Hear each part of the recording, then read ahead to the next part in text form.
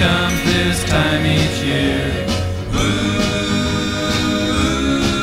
well, way up north where the air gets cold, there's a tale about Christmas that you've all been told. And a real famous cat, all dressed up in red, and he spends the whole year working out in his sled. It's the little Saint Nick. It's the little Saint Nick. Just a little boy.